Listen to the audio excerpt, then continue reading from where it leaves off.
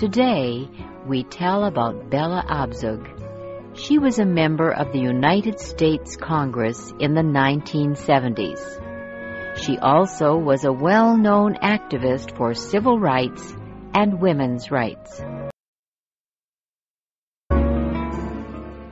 Bella Abzug was well known for many reasons. She was a lawyer and activist. She represented New York City in Congress. She spoke in a loud voice, and she always wore large hats.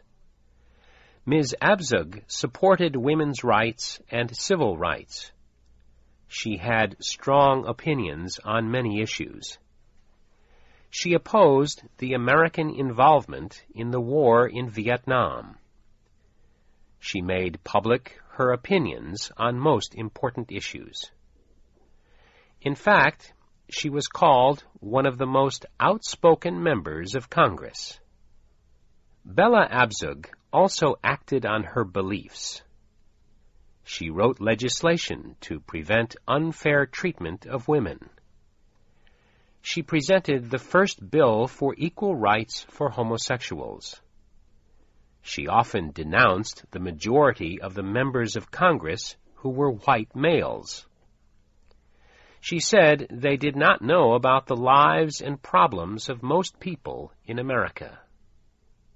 Bella Abzug did know about the lives of common Americans. She was born Bella Savitzky in the Bronx area of New York City in 1920. Her parents had come to the United States from Russia. Her father operated a food store called the Live and Let Live Meat Market. Bella said she knew from the age of 11 that she wanted to be a lawyer. At the age of 12, she gave her first public speech. It was in an underground train station in New York.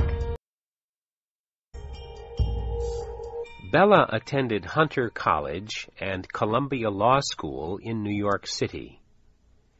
She married Martin Abzug in 1944. He was a stockbroker and writer. He had no interest in politics. But he was his wife's best friend and supporter. They had two daughters. Bella Abzug became a lawyer in the 1940s. She represented labor union workers. She also represented people involved in civil rights cases. She often worked for no payment in these cases. In the 1950s, she represented people accused of subversive activities by Senator Joseph McCarthy. Bella Abzug began wearing large hats when she was a young lawyer. There were very few women lawyers in America then. She told this story about why she began wearing hats. Working women wore hats. It was the only way they would take you seriously. After a while, I started liking them.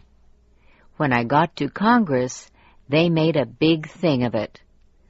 They did not want me to wear a hat, so I did. In the 1960s, Bella Abzug became an anti-war activist. She organized a group of anti-war women called Women Strike for Peace. She opposed American involvement in the war in Vietnam, and she opposed testing of nuclear weapons. She led demonstrations in Washington against the war and in support of a ban against nuclear weapons. She became a leader of the movement against President Johnson because of his involvement in the war. In the early 1970s, Ms. Abzug also became a leader of the growing women's rights movement that was spreading across the country. She helped form the National Women's Political Caucus. In speaking to the group in 1971, she demanded equal rights for women in all areas of American life. In 1970, Bella Abzug was elected to the House of Representatives as a Democrat from New York City. She was 50 years old. She was the first Jewish woman elected to Congress. Her campaign statement was, This woman belongs in the House. She did not mean her house. She meant the House of Representatives. At the time, there were only ten female members in the House of Representatives. During her first day as a member of Congress, Ms. Abzug introduced a resolution calling for an immediate withdrawal of American troops from Vietnam. The resolution was defeated. Later in her term, she tried other ways to reach that goal.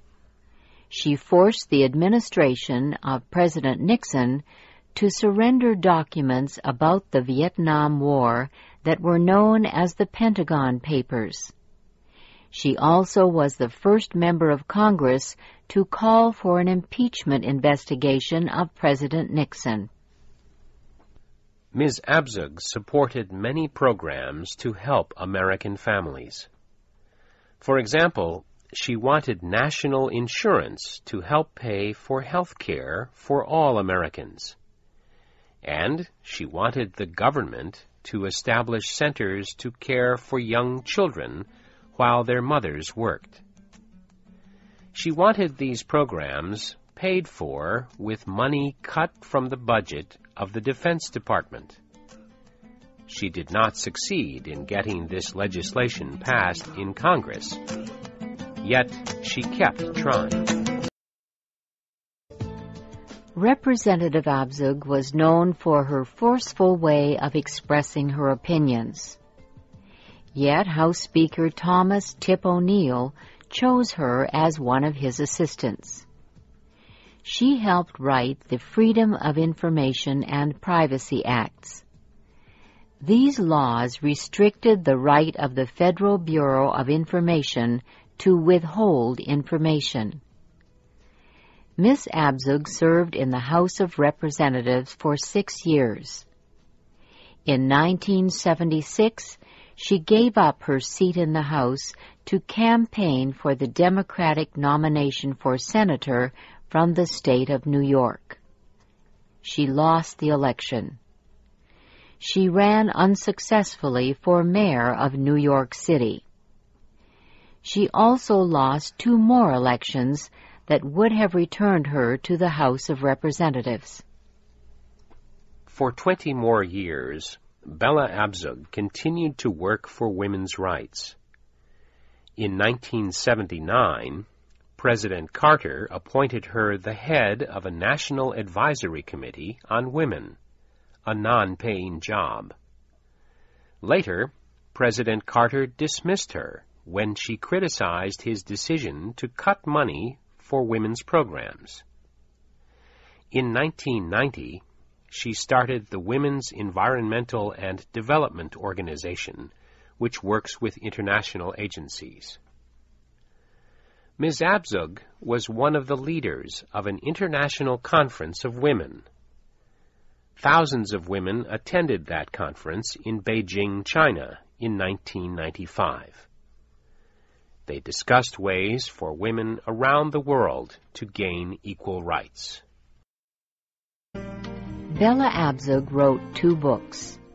The first is called Bella, Miss Abzug Goes to Washington.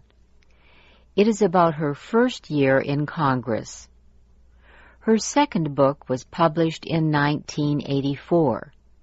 It is called Gender Gap, Bella Abzug's Guide to Political Power for American Women.